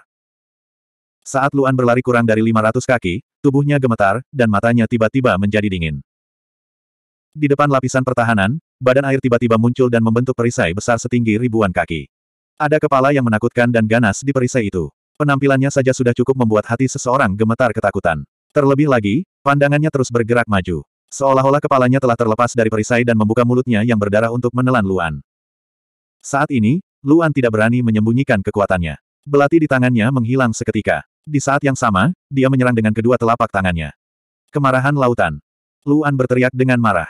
Deep Ice segera meletus dan membekukan seluruh air laut di depannya. Kecepatan pembekuan air laut adalah yang tercepat. Dalam sekejap, ia telah sampai di depan kepala yang menakutkan itu. Es setinggi lebih dari 10.000 kaki dan udara dingin menekan kepala dari segala arah, ingin membekukan kepala besar ini juga. Namun, kepala ini tidak seperti air laut biasa. Meskipun permukaannya dengan cepat membeku, ia masih memiliki kekuatan untuk secara paksa mendorong lapisan besar air di depannya. Mata Luan menjadi dingin. Dia tidak bisa membiarkan dirinya menjauh dari lapisan pertahanan. Dia segera menekankan tangannya pada lapisan es dan pada saat yang sama, kekuatannya meledak. Dengan raungan rendah, dia dengan paksa mendorong lapisan es besar itu dan mendorongnya ke depan. Ha! Luan berteriak dengan marah dan mendorong ke depan dengan seluruh kekuatannya. Dia benar-benar membenturkan kepala menakutkan itu kembali ke perisai. Binatang aneh itu terkejut. Pertama-tama, manusia ini tidak menyangka akan membekukan air laut secepat itu. Kedua, ia tidak menyangka esnya akan sekeras itu. Jika itu es biasa, itu akan dipecah oleh kepala yang meronta-ronta dan digigit berkeping-keping oleh mulut besar yang berdarah. Namun, ia tidak bisa menyerah begitu saja. Perairan tiba-tiba menjadi ilusi, dan air laut setinggi ribuan kaki di sekitarnya berguncang lagi. Tekanan air tiba-tiba meningkat, melebihi tekanan 4.000 kaki dalam sekejap. Itu bahkan lebih kuat dari itu, dan menekan Luan dengan seluruh kekuatannya. Tekanan itu langsung membuat Luan menjadi sangat lambat. Pada saat ini, Luan menyebarkan persepsinya dan menemukan ada banyak lonjakan air di air laut yang mengalir ke arahnya. Lonjakan air yang tajam sudah cukup untuk menembus tubuhnya. Luan segera melepaskan Deep Ice lagi dan membekukan ribuan kaki di sekitarnya untuk mencegah kemungkinan panah air mengenai dirinya. Anak panah air ini menghantam Deep Ice, tapi tidak cukup untuk memecahkannya. Lapisan es besar melayang di atas laut, dan udara dingin melonjak, memaksa binatang aneh di sekitarnya mundur. Bahkan badan air pun bisa merasakan dingin yang menusuk tulang. Kerusakan seperti ini lebih mengancam dari semua serangan yang pernah dideritanya sebelumnya. Saat udara dingin menyebar, perairan tidak punya pilihan selain menjauhkan diri. Ia tahu bahwa manusia ada di dalam es, tetapi ia tidak dapat berbuat apa-apa. Pada saat ini, tiba-tiba, seberkas es menyebar dari badan es yang mengambang dengan kecepatan yang sangat cepat dan menyapu ke arah binatang aneh itu. Binatang aneh itu terkejut dan segera lari ke kejauhan. Harus diakui bahwa kecepatannya terlalu cepat. Meski terkena udara dingin, ia tetap tidak bisa mengejar kecepatan penyebaran es. Namun, Luan tidak mau terus mengejarnya. Bang! Es tersebut langsung mengenai lapisan pertahanan yang selama ini diandalkan oleh badan air. Sosok Luan langsung muncul dari es dan segera memasuki barisan pertahanan. Akhirnya, Luan kembali ke barisan pertahanan lagi. 2069. Alasan keterkejutan Luan sangat sederhana. Itu adalah, tubuh binatang aneh itu telah berubah lagi. Dengan raungan marah, tubuh binatang aneh itu langsung membesar. Dari tubuh seukuran Luan, dengan cepat berubah menjadi badan air berbentuk bola dengan diameter 10 kaki. Permukaan badan air tampak mengalir, dan badan air di dalamnya juga tampak mengalir. Namun, sulit membedakannya dengan mata telanjang. Melihat perairan selebar 10 kaki ini, mungkinkah ini adalah tubuh binatang aneh ini? Ledakan. Badan air langsung melesat keluar, dan kali ini, kecepatannya bahkan lebih cepat dari sebelumnya. Mata Luan bergetar. Kecepatan ini hampir kabur di matanya. Namun, dia tetap mengendalikan kekuatannya dan tidak membiarkan dirinya membuka alam Dewa Iblis. Suara mendesing. Jarak seratus kaki ditempuh dalam sekejap. Ia bergegas ke posisi sepuluh kaki di depan Luan. Karena ketidakpastian di dalam perairan, Luan memilih menghindarinya dan segera bergerak ke atas untuk menghindar. Namun, badan air tiba-tiba berputar dengan kecepatan yang sangat cepat. Ia mengubah arah dan langsung menyusul Luan, bergegas menuju Luan dengan kecepatan yang sangat cepat. Tepat ketika perairan berada sepuluh kaki jauhnya dari Luan, perubahan tiba-tiba terjadi. Perairan yang berputar cepat tiba-tiba mengeluarkan setidaknya 20 pilar air. Lebih tepatnya, mereka seperti anggota badan yang menjulur dari badan air.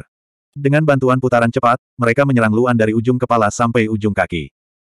Perairan terlalu cepat, dan perputarannya terlalu cepat. Terlalu banyak pilar air. Ini bukanlah serangan yang bisa dihindari pada level yang sama. Bahkan Luan pun sama. Di tengah serangan rotasi cepat, Luan mencondongkan tubuh ke samping untuk menghindari empat pilar air. Namun, dia tidak bisa mengelak dari serangan kelima bagaimanapun caranya. Tak berdaya, Luan langsung mengangkat lengan kanannya dan memblokir pilar air tersebut. Bang! Luan langsung terkena. Suara mendesing. Tubuh Luan terbang ke kanan. Lengan kanannya mati rasa, dan ada tanda merah besar di lengan atasnya. Kekuatan pilar air ini lebih tinggi dari yang dia bayangkan. Yang membuat Luan semakin khawatir adalah pilar air yang membuatnya terbang tidak meledak. Meski sedikit bengkok, ia dengan cepat diserap oleh badan air dan muncul kembali.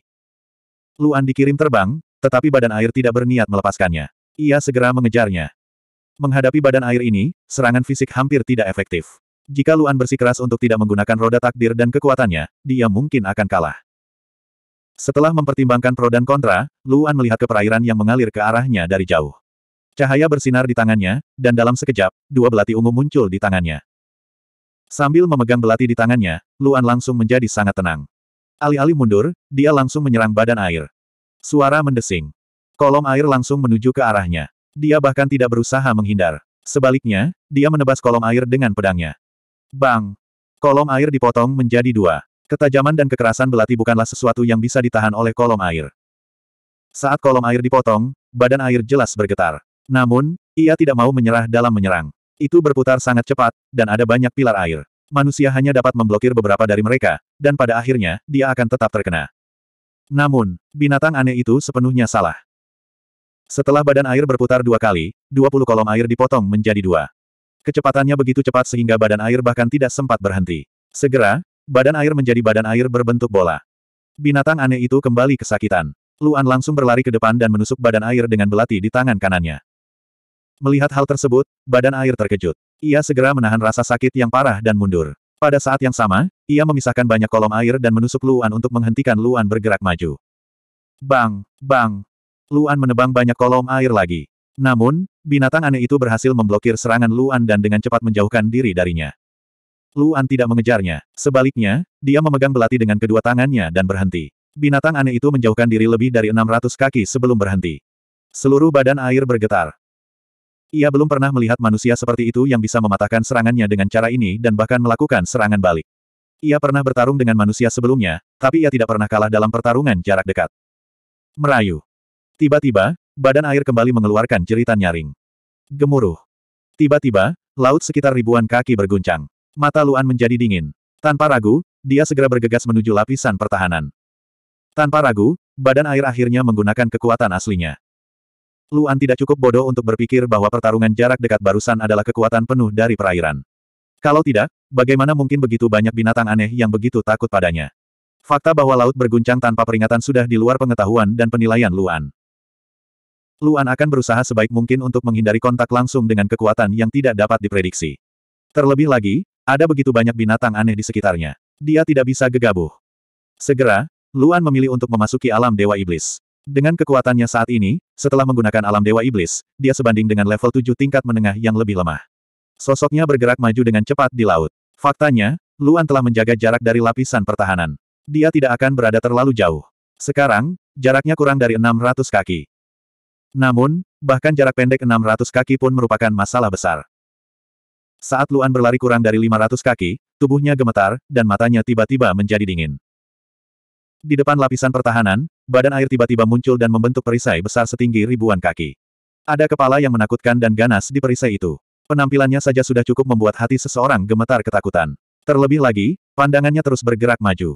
Seolah-olah kepalanya telah terlepas dari perisai dan membuka mulutnya yang berdarah untuk menelan Luan. Saat ini, Luan tidak berani menyembunyikan kekuatannya. Belati di tangannya menghilang seketika. Di saat yang sama, dia menyerang dengan kedua telapak tangannya. Kemarahan lautan. Luan berteriak dengan marah. Deep Ice segera meletus dan membekukan seluruh air laut di depannya. Kecepatan pembekuan air laut adalah yang tercepat. Dalam sekejap, ia telah sampai di depan kepala yang menakutkan itu. Es setinggi lebih dari 10.000 kaki dan udara dingin menekan kepala dari segala arah, ingin membekukan kepala besar ini juga. Namun, kepala ini tidak seperti air laut biasa. Meskipun permukaannya dengan cepat membeku, ia masih memiliki kekuatan untuk secara paksa mendorong lapisan besar air di depannya. Mata Luan menjadi dingin. Dia tidak bisa membiarkan dirinya menjauh dari lapisan pertahanan. Dia segera menekankan tangannya pada lapisan es dan pada saat yang sama, kekuatannya meledak. Dengan raungan rendah, dia dengan paksa mendorong lapisan es besar itu dan mendorongnya ke depan. Ha! Luan berteriak dengan marah dan mendorong ke depan dengan seluruh kekuatannya. Dia benar-benar membenturkan kepala menakutkan itu kembali ke perisai. Binatang aneh itu terkejut. Pertama-tama, manusia ini tidak menyangka akan membekukan air laut secepat itu. Kedua, ia tidak menyangka esnya akan sekeras itu. Jika itu es biasa, itu akan dipecah oleh kepala yang meronta-ronta dan digigit berkeping-keping oleh mulut besar yang berdarah. Namun, ia tidak bisa menyerah begitu saja. Perairan tiba-tiba menjadi ilusi, dan air laut setinggi ribuan kaki di sekitarnya berguncang lagi. Tekanan air tiba-tiba meningkat, melebihi tekanan 4.000 kaki dalam sekejap. Itu bahkan lebih kuat dari itu, dan menekan Luan dengan seluruh kekuatannya. Tekanan itu langsung membuat Luan menjadi sangat lambat. Pada saat ini, Luan menyebarkan persepsinya dan menemukan ada banyak lonjakan air di air laut yang mengalir ke arahnya. Lonjakan air yang tajam sudah cukup untuk menembus tubuhnya. Luan segera melepaskan Deep Ice lagi dan membekukan ribuan kaki di sekitarnya untuk mencegah kemungkinan panah air mengenai dirinya. Anak panah air ini menghantam Deep Ice, tapi tidak cukup untuk memecahkannya. Lapisan es besar melayang di atas laut, dan udara dingin melonjak, memaksa binatang aneh di sekitarnya mundur. Bahkan badan air pun bisa merasakan dingin yang menusuk tulang. Kerusakan seperti ini lebih mengancam dari semua serangan yang pernah dideritanya sebelumnya. Saat udara dingin menyebar, perairan tidak punya pilihan selain menjauhkan diri. Ia tahu bahwa manusia ada di dalam es, tetapi ia tidak dapat berbuat apa-apa. Pada saat ini, tiba-tiba, seberkas es menyebar dari badan es yang mengambang dengan kecepatan yang sangat cepat dan menyapu ke arah binatang aneh itu. Binatang aneh itu terkejut dan segera lari ke kejauhan. Harus diakui bahwa kecepatannya terlalu cepat. Meski terkena udara dingin, ia tetap tidak bisa mengejar kecepatan penyebaran es. Namun, Luan tidak mau terus mengejarnya. Bang! Es tersebut langsung mengenai lapisan pertahanan yang selama ini diandalkan oleh badan air. Sosok Luan langsung muncul dari es dan segera memasuki barisan pertahanan. Akhirnya, Luan kembali ke barisan pertahanan lagi. 2070 Luan tidak tinggal lama setelah menyiapkan formasi teleportasi di kediaman Pangeran Qi. Delapan benua kuno, kota es dan api. Ini masih pagi. Saat itu baru lewat tengah hari, dan matahari bersinar terang. Luan langsung menemui Liu Yi ketika dia kembali. Yao dan si cantik yang juga ada di sana. Dia bercerita kepada mereka tentang apa yang terjadi, termasuk soal pergi ke Pulau Sky Tiger. Ketika ketiga wanita itu mendengar tentang klan Watercloud, mereka sedikit bingung.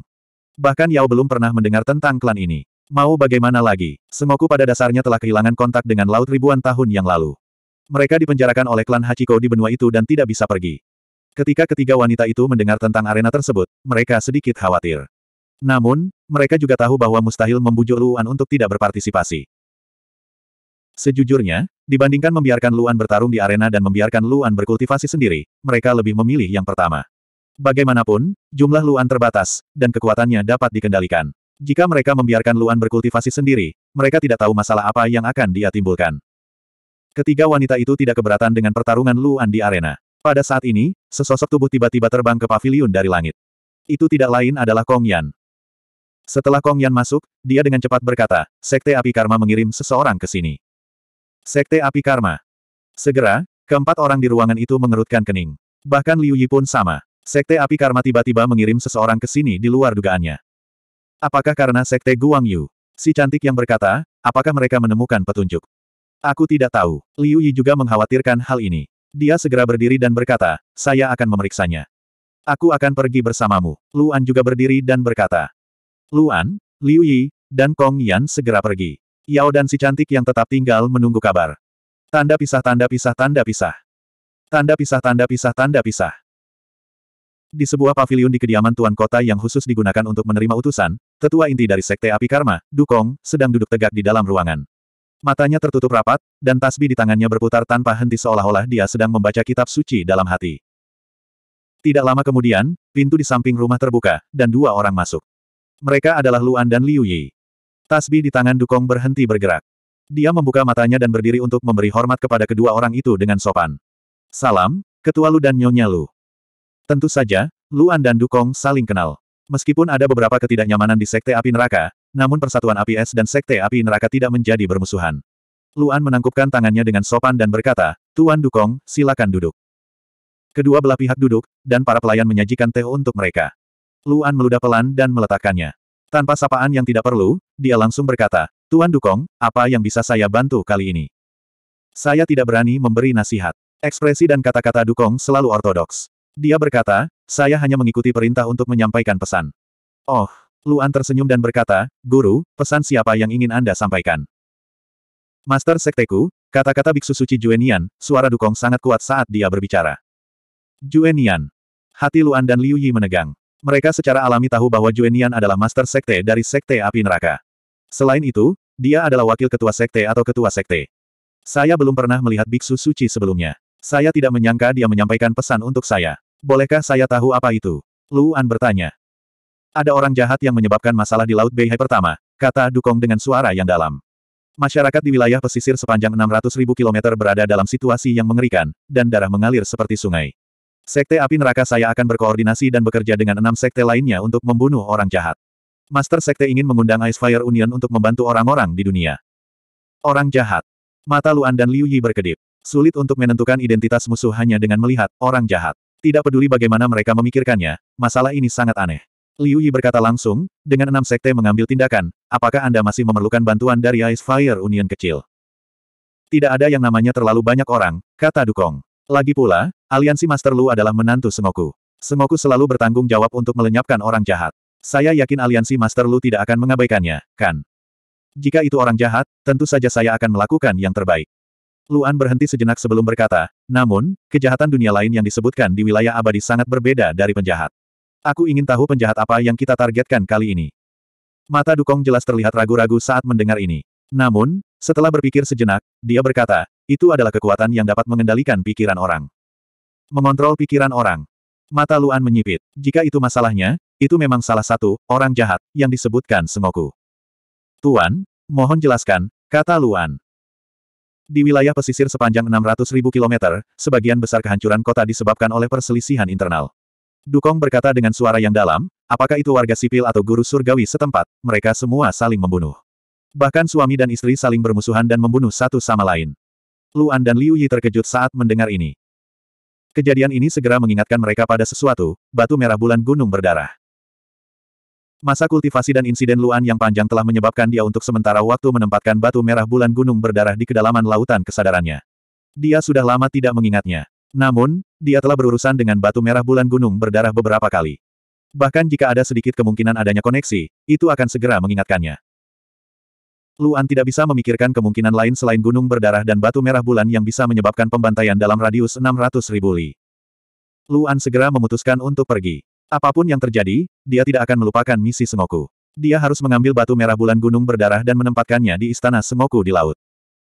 Namun, Luan tidak menunjukkan perilaku yang terlalu intens atau tidak normal. Sebaliknya, dia berpura-pura berpikir sejenak sebelum mengangguk sedikit dan berkata, kapan kita berangkat? Tanggal 10 Juli, kata Dukong langsung, kami akan berangkat tepat jam 7 pagi. Luan mengangguk dan berkata, oke, okay, saya akan tiba tepat waktu. Ketua aliansi Lu memang baik hati. Dukong berdiri, membungkuk ke arah Luan dan berkata, karena itu masalahnya, aku akan menunggu kedatangan ketua aliansi Lu empat hari kemudian. Setelah berbicara, Dukong tidak berlama-lama dan langsung berbalik meninggalkan pavilion. Setelah Dukong pergi, alis Luan menjadi semakin rapat. Liu Yi juga sama. Segera, Keduanya kembali ke pavilion dan memberitahu Yao dan si cantik yang tentang masalah ini. Benar saja, kedua wanita itu langsung memikirkan batu merah bulan gunung berdarah. Yao segera berkata, aku akan pergi juga. Luan menatap Yao, alisnya berkerut erat. Sejujurnya, kekuatan Yao saat ini jauh lebih tinggi darinya. Bahkan jika dia pergi, dia akan memiliki kemampuan lebih untuk melindungi dirinya sendiri. Namun, karena suatu alasan, Luan tidak ingin dia pergi. Bahaya. Luan merasakan perasaan samar di hatinya. Misi ini akan sangat berbahaya, bahkan jauh lebih berbahaya dari yang ia bayangkan. Lebih penting lagi, Luan tidak dapat membedakan apakah rasa bahaya ini berasal dari kekuatan jahat di wilayah pesisir atau dari tempat lain. Liu Yi memiliki pemikiran yang sama dengannya. Dia selalu curiga dengan tujuan kunjungan Karma Fire Sect hari ini. Mengapa? Mengapa mereka harus menemukan Ice Fire Union? Terakhir kali, Luan dan Sekte Api Karma tidak memiliki hubungan yang baik. Namun, Sekte Api Karma tiba-tiba datang menemui mereka karena masalah ini. Apa pun yang terjadi, hal itu membuat orang merasa bahwa mereka mempunyai niat buruk. Bahkan, membunuh dengan pisau pinjaman. Saya ingin pergi sendiri. Luan mengerutkan kening dan berkata dengan suara yang dalam. Yao terkejut dan dengan cepat berkata, tetapi masalah ini ada hubungannya dengan batu merah bulan gunung berdarah. Jika batu itu benar-benar ada, bagaimana suami akan merebutnya dari tangan enam sekte? Si cantik yang sedikit terkejut dan menatap Yao dengan sedikit heran. Yao pun segera menyadari kalau dia telah mengatakan sesuatu yang salah. Kata-kata yang dia ucapkan dengan tergesa-gesa tidak memberikan wajah apa pun pada Luan. Tentu saja, Luan sama sekali tidak mempedulikan hal ini. Dia memandang Yao dan berkata dengan serius, dengarkan aku. Aku akan memeriksa situasinya dulu. Jika aku yakin tidak ada bahaya khusus, aku akan kembali menjemputmu. Ini tidak akan membuang banyak waktu. Tepat ketika Yao hendak mengatakan sesuatu dengan cemas, Liu Yi juga berbicara. Dia memandang Yao dan berkata, saya juga setuju dengan kata-kata suami. Yao terkejut, dan memandang Liu Yi dengan cemas. Melaksanakan misi bukanlah sesuatu yang bisa diselesaikan hanya dengan kekuatan. Liu Yi berkata dengan serius, meskipun kekuatanmu tinggi, kamu tidak tahu bagaimana menipu orang lain dan tidak bisa menghadapi bahaya. Bahkan jika Sekte Api Karma tidak memiliki niat lain, jika Anda menggunakan metode Anda untuk merebut batu merah bulan gunung berdarah dari tangan semua orang, kami akan langsung menyinggung enam sekte. Biarkan Luan yang menangani masalah ini dulu. Jika waktunya tepat, saya jamin saya akan membiarkan Anda mengambil tindakan. Karena Liu Yi sudah mengatakannya seperti ini, tidak mungkin Yao bisa memperjuangkan hal lain. Dia hanya bisa berkata dengan serius, bagi wilayah abadi, batu bulan merah dari gunung berdarah adalah misi yang paling penting. Aku tidak ingin ada bagian yang jatuh ke tangan orang lain. Saya mengerti. Liu Yi mengangguk dan berkata, jangan khawatir.